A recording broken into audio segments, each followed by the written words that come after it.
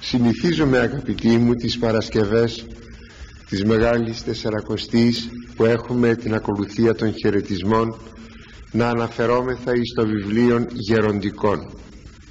Όλοι το ξέρετε το βιβλίο αυτό. Μας είναι πάρα πολύ χρήσιμο γιατί υπάρχει εκεί πολύ ε, πρακτική θα λέγαμε πρακτικός χριστιανισμός εφηρμοσμένος χριστιανισμός πως έζησαν οι γέροντες της ερήμου οι νηπτικοί αυτοί πατέρες και έτσι μας καλούν να δούμε τη ζωή τους ε, τα αποφθέγματά τους τα λόγια τους δηλαδή για να μπορούμε και εμείς να μιμηθούμε κάτι από την Αγία του ζωή και έτσι να προχωρήσουμε περισσότερο και περισσότερο στην πνευματική μας ζωή.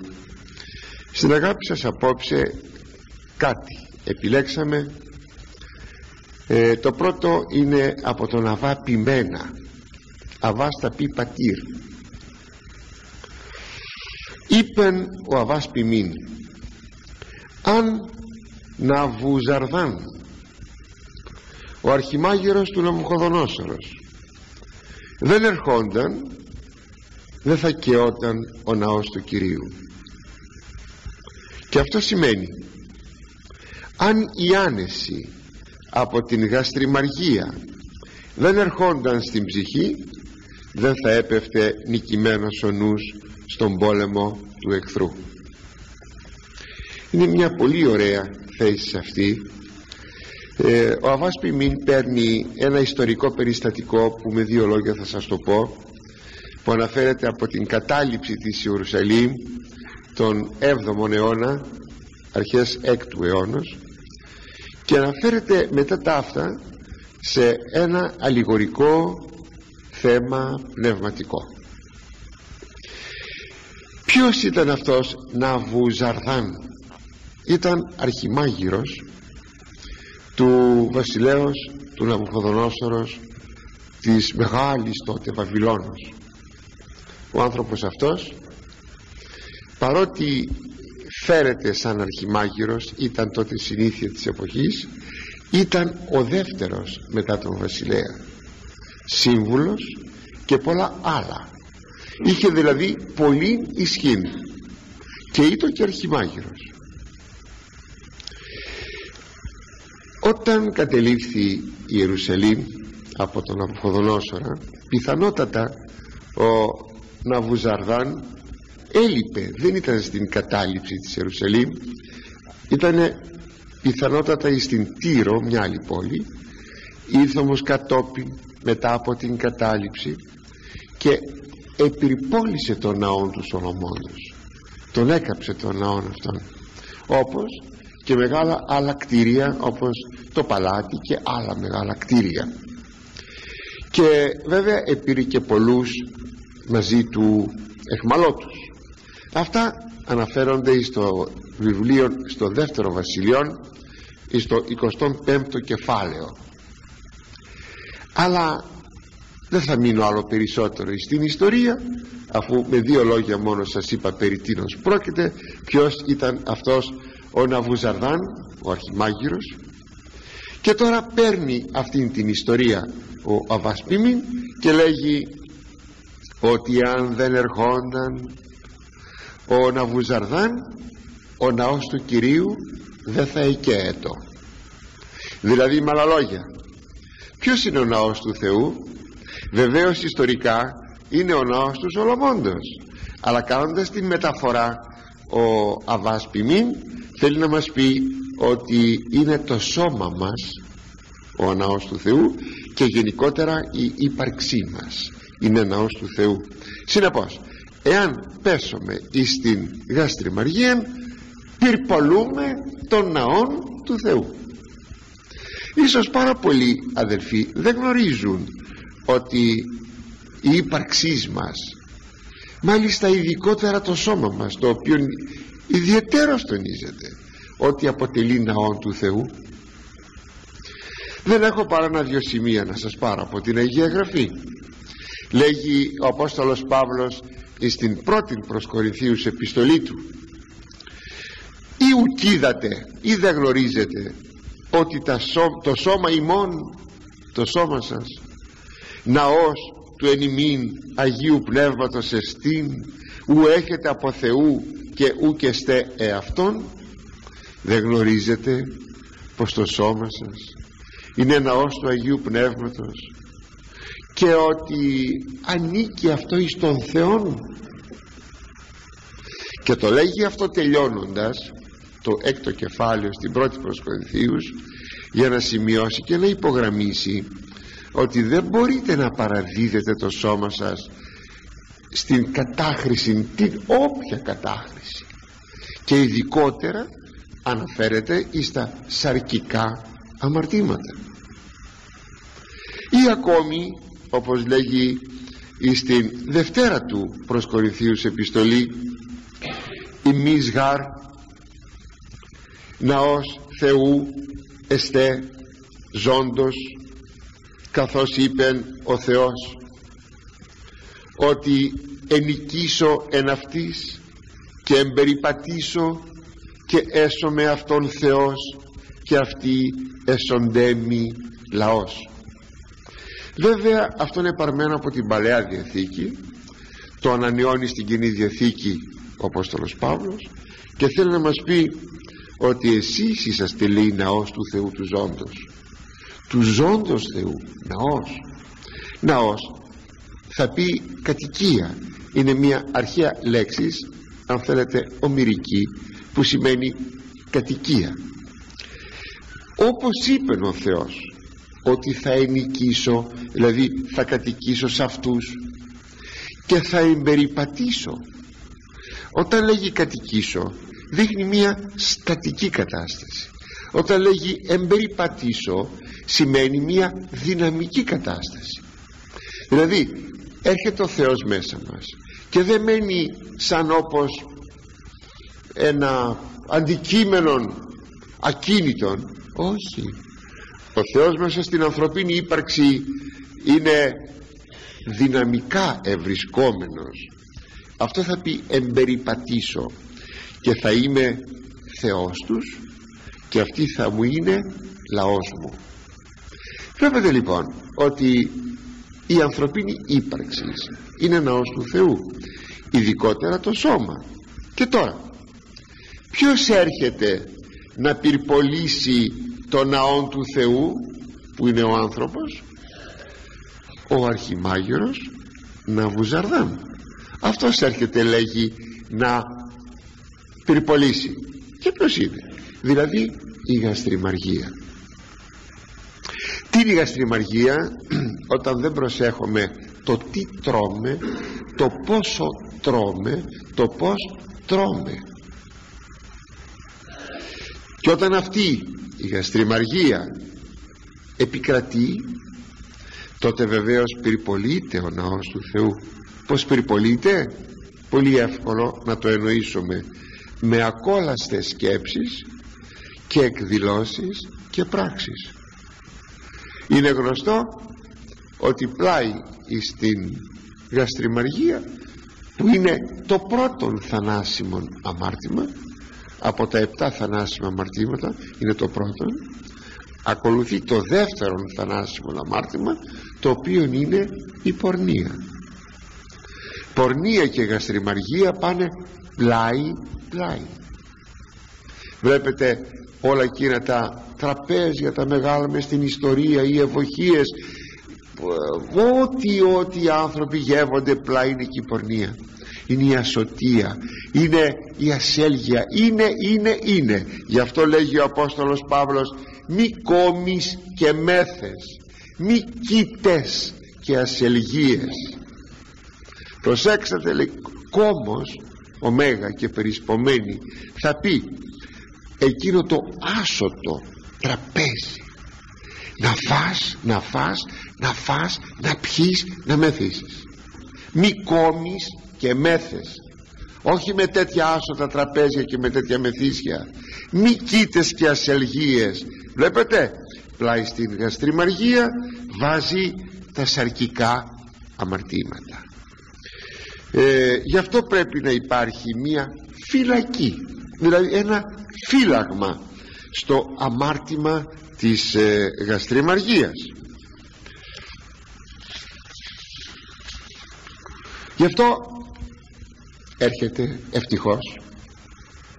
Μια τεσσαρακοστή ή όπως ακόμη μέσα στην εβδομάδα δύο ημέρες Τετάρτη και Παρασκευή που μας μαθαίνει να νηστεύομαι να εγκρατευόμεθα και να περιοριζόμεθα εις εκείνους τους σωτηρίους χώρους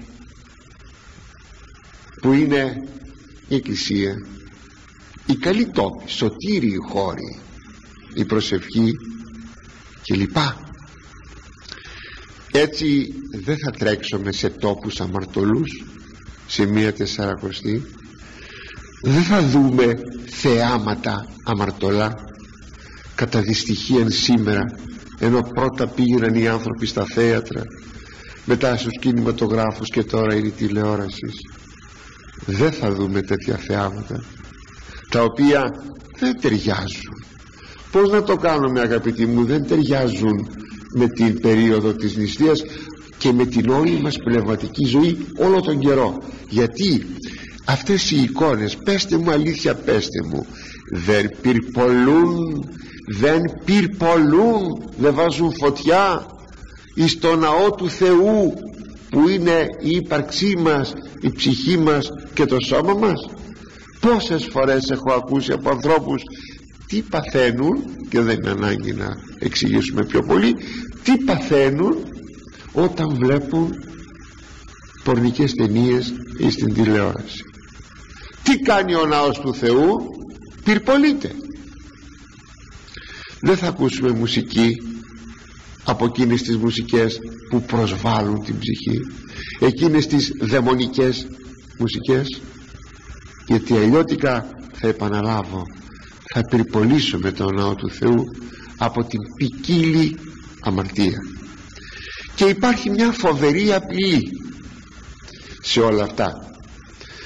Λέγει ο Απόστολος όταν μας είπε ότι είμαι θα ναός του Αγίου Πνεύματος και ακόμη όταν τονίζει ποια είναι η αξία της θέσεως του σώματός μας και της ψυχής μας μας λέγει ο φθήρον των ναών του Θεού θερεί του τον ο Θεός ήτινες εστέ ημείς ποιος είναι ο ναός του Θεού; Εσείς λέει είσαστε. Ήτινες εστέ ημείς. Εσείς είσαστε. Τι θα γίνει; Εκείνος ο οποίος φθήρει καταστρέφει το ναό του Θεού θερεί του τον ο Θεός. Θα τον καταστρέψει ο Θεός. Τι φοβερό. Είναι μια απειλή και συμπληρώνει.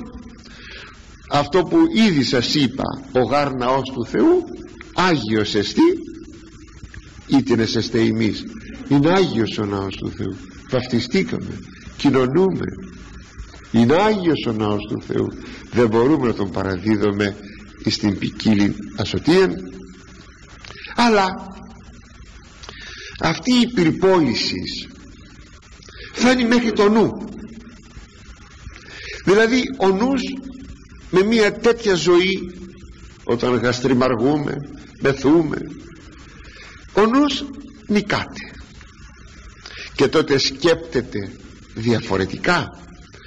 Χωρίς κρίση χωρίς διάκριση και χωρίς οριμότητα. Γι' αυτό είναι και αβαθής ο νους μας. Ρηχός. Σκεφτόμαστε επιπόλαια βλέπει κανείς ανθρώπους που σκέπτονται ρηχότατα και λέει δεν έχουν οι άνθρωποι αυτοί κάποιο βάθος. Δεν πάει η σκέψη λίγο βαθύτερα γιατί; Γιατί έτσι εξαφανίζεται αγαπητοί μου προσέξτε ο νους του Χριστού. Δηλαδή ο Απόστολος Παύλος μας είπε ότι εμείς νου Χριστού έχουμε. Έχουμε λέγει νου Χριστού. Τι θα πει αυτό; Ως προς την ανθρωπίνη φύση του Χριστού. Έχουμε τον νου εκείνον με τον οποίο είχε ο Χριστός και με τον οποίο σκεφτόμαστε βλέπουμε και καταλαβαίνουμε όπως έβλεπε και καταλάβαινε η ανθρωπίνη φύση του Χριστού. Τώρα όμως αυτόν τον νουν Χριστού τον αποβάλλουμε διότι τα πάθη μας δεν μας αφήνουν να τον κρατήσουμε και έτσι η γαστριμαργία να κάνω εδώ μια διάκριση η γαστριμαργία είπαμε το γέμισμα της κοιλιάς με ό,τι ό,τι. Διαφέρει από τη λεμαργία γιατί είναι πολύ όχι γαστρίμαργη αλλά είναι λέμαργη. Ή δεν είναι λέμαργη αλλά είναι γαστρίμαργη.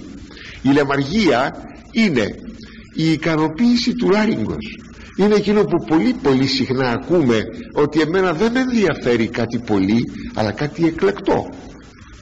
Αυτή είναι η διαφορά μεταξύ της γαστριμαργίας και της ε, λεμαργίας. Πάντως το θέμα είναι ότι πέφτουμε στο θέμα αυτό στο αμάρτημα της γαστριμαργίας. Το πρώτο πάθος η πύλη των παθών όπως μας λένε οι πατέρες. Και βέβαια μεταξύ των άλλων καταστρέφει και τον νουν θα σας το δείξω λίγο πιο κάτω.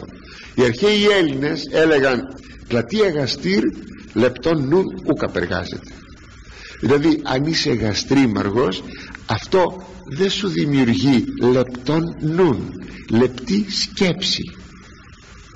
Έχεις χοντρή σκέψη. Δεν μπορείς να σκεφτείς, σκεφτείς λεπτά να διεισδύσεις μέσα στις έννοιες πολύ δε παραπάνω εις τον Λόγο του Θεού ε, έχουμε ένα τέτοιο θαυμάσιο παράδειγμα αυτό που σας είπα θα σας πω πιο κάτω. Είναι η περίπτωση των τριών παιδρων στη Βαβυλώνα. Όλοι έχετε ακούσει την ιστορία τους τη γνωρίζετε. Ανάμεσα στους εχμαλώτους που ο Ναβουχοδονόσορ έσυρε στην Βαβυλώνα από την Ιερουσαλήμ ήταν ο Δανίλ ο προφήτης ο θαυμάσιος αυτός άνθρωπος και τρεις νέοι που και οι τέσσερις τους ήσαν από το βασιλικό γένος του Δαβίδ. Αυτοί έπρεπε κατά την αντίληψη του Ναβουχοδονόσορος να μορφωθούν με την Βαβυλωνιακή γραμματεία για να γίνουν ήταν σχέδιο του Ναβουχοδονόσορος αυτό το οποίο σχέδιο μέχρι σήμερα υπάρχει να μπορούν να κυβερνήσουν το απέραντο εκείνο βαβυλωνιακό κράτος που έφτανε μέχρι την Αίγυπτον. Και έπρεπε να τύχουν παιδείας εννοείται βαβυλωνιακής. Και για να μπορούν να αποδώσουν κατά την αντίληψη του βασιλέως έπρεπε να τρών καλά. Έπρεπε να τρών από το τραπέζι του βασιλέως του Ναβουχοδονόσορος ό,τι έτρωγε εκείνος έπρεπε να τρώνε και αυτοί αλλά τι έτρωγε όμως ο Ναβουχοδονόσορο ό,τι νομίζετε. Εκλεκτών και απειγορευμένο από τον νόμο του Θεού της Παλαιάς Διαθήκης. Τότε αισθάνθηκαν πολύ δύσκολα οι τρεις αυτοί νέοι. Δεν αναφέρεται ο Δανίλ εδώ έχει μια ξεχωριστή ιστορία. Τότε σκέφτηκαν και είπαν θα πάμε στον Αρχιμάγειρο τον παρακαλέσουμε να μας δίνει όσπρια κυρίως από το φυτικό βασίλειο τροφές πήγαν έκαναν την προσευχή τους. Και εκείνος του λέει δεν μπορώ δεν μπορώ διότι θα με, θα με φωνεύσει ήταν τόσο περίεργα τα ήθη της εποχής εκείνης. Θα με φωνεύσει ο Ναμουχοδονόσορ εάν αντιληφθεί ότι εγώ δεν σας τρέφω καλά και του λένε δοκίμασε δέκα μέρες λίγες μέρες. Και αν δεις ότι αδυνατίζουμε από το φαΐ αυτό που τρώμε τότε να μας δώσεις το φαΐ που λες. Τον εφώτισε ο Θεός και ο Αρχιμάγειρος το απεδέχθη. Βλέπετε εκείνος κατέστρεψε τον ναό του Σολομώντος αλλά τώρα όμως νικάται από τους τρεις αυτούς νεαρούς. 20 χρονών παιδιά ήσαν δεν θάσαν. Ο Δανίλ ήταν λίγο μεγαλύτερος. Και επειδή δεν έτρωγαν από το τραπέζι του Ναυκοδονόσορος δεν ενικήθη ο νους των σας είπα δώστε στην νεολαία μας σήμερα να φαν καλά να πιούν καλά. Δεν θα έχουν το νου τους στα γράμματα. Να το ξέρουμε αυτό. Γι' αυτό τι έγινε όταν ο βασιλιάς ζήτησε να εξετάσει τους ε, εκείνους οι οποίοι επαιδεύονται την, την Βαβυλωνιακή γραμματεία τι ανεκάλυψε ότι όλοι ήσαν τενεκέδες ξέχαν ότι εκείνοι που άξιζαν και είχαν λεπτόν νουν ήταν οι τρεις παιδες και τους έδιωξε όλους και κράτησε αυτούς. Καταπληκτικό. Έτσι. Δεν ενικήθη ο νους των από τη γαστριμαργία γι' αυτό και έφτασαν να έχουν μέτρα προκοπής πολύ υψηλά και στη γνώση του Θεού αλλά και στην θύραθεν σοφία τη σοφία εκείνη που ήταν έξω από την Παλαιά Δεθήκη ακόμη.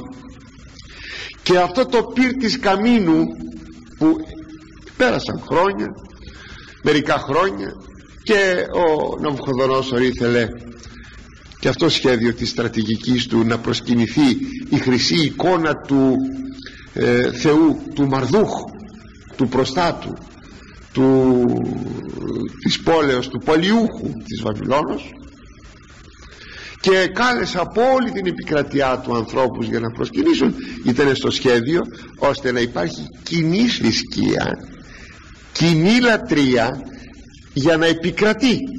Είναι αυτό που σήμερα ίδια μέθοδος χαλκεύει το φαινόμενο που λέγεται οικουμενισμός ένωσης των θρησκειών το ίδιο πράγμα.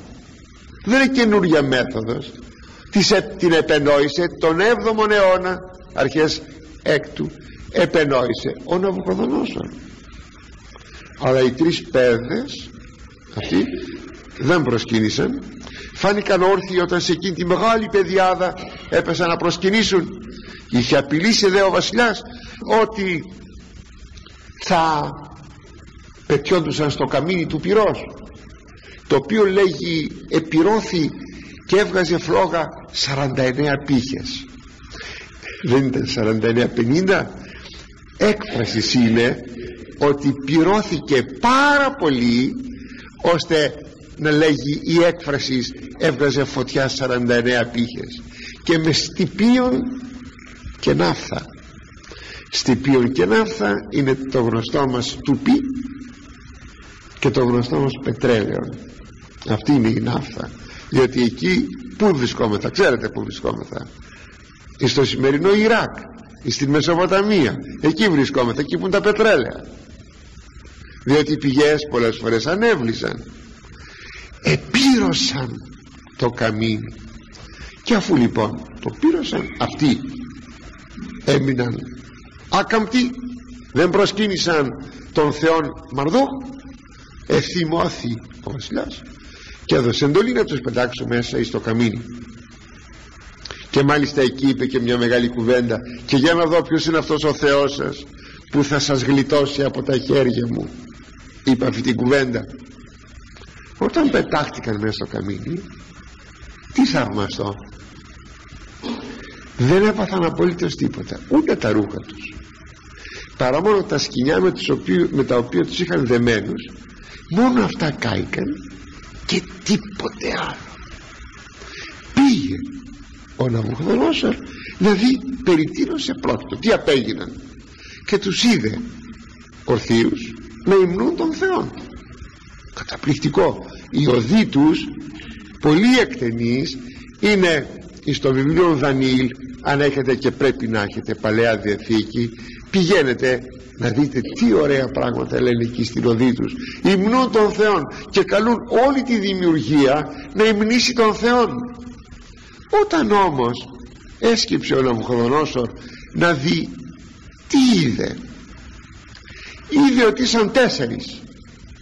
Μπα τρεις εγώ δεν έριξα. Ο τέταρτος ποιος είναι; Αγαπητοί μου ποτέ δεν έμαθε ο Ναυκοδονόσορ ποιος ήταν αυτός ο τέταρτος. Παρά μόνον είπε μια κουβέντα και ότι το πρόσωπο του τετάρτου ως πρόσωπον αγγέλου. Εμείς το ξέρουμε όμως. Ήτο η ενυπόστατος σοφία του Θεού το δεύτερον πρόσωπο της Αγίας Τριάδος ο μετέπειτα ενανθρωπίσας Θεός Λόγος. Αυτός ήτο καταπληκτικό. Ναι ήταν μαζί τους. Γι' αυτό τους επροστάτευσε. Ο μετέπειτα Ιησούς Χριστός σας λέω. Ύστερα από έξι αιώνες που ενυνθρώπισε ο Υιός του Θεού εμφανίζεται εκεί ως νέος ως άνθρωπος. Και συνεπώς ήταν μαζί τους η ενυπόστατο Σοφία. Και αλλού την βρίσκουμε την ενυπόστατο Σοφία όπως στη φυλακή με τον Ιωσήφ. Και λοιπά και λοιπά. Τον βρίσκουμε των Θεών Λόγων ενυπόστατος θα πει προσωπική δηλαδή πρόσωπο. Δηλαδή εγώ που έχει συνείδηση το πρόσωπο. Σε πολλά σημεία στην Παλαιά Διαθήκη. Ωστόσο εσώθησαν οι τέσσερις οι τρεις νέοι διότι μετά τους έβγαλε ο Ναυκοδονόσορ και τους ετίμησε υπερβολικά. Έτσι ο πιστός αγαπητοί μου που προσέχει γίνεται κατοικητήριον και του Αγίου Πνεύματος και του Κυρίου μας Ιησού Χριστού. Τώρα ξεκινάμε μία σαρακοστή. Ας την τιμήσουμε είναι μια ευκαιρία για μια γενικότερη εγκράτεια και προσοχή. Για να μην πυρπολίσουμε με τη γαστριμαργία το ναό του Θεού που είναι το σώμα μας και η ύπαρξής μας.